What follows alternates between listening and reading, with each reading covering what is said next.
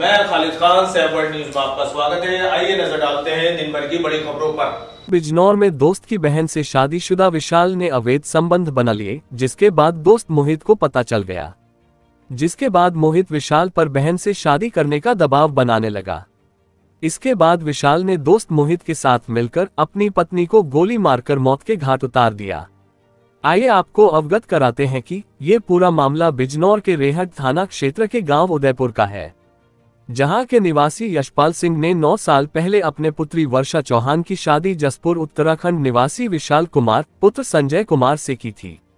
आरोप है कि पत्नी वर्षा के जन्मदिन पर पति विशाल उसे खाटू श्याम राजस्थान घुमाने की बात कहकर घर से किराए की कार करके ले गया था और वही उसने वर्षा की गोली मारकर हत्या कर दी।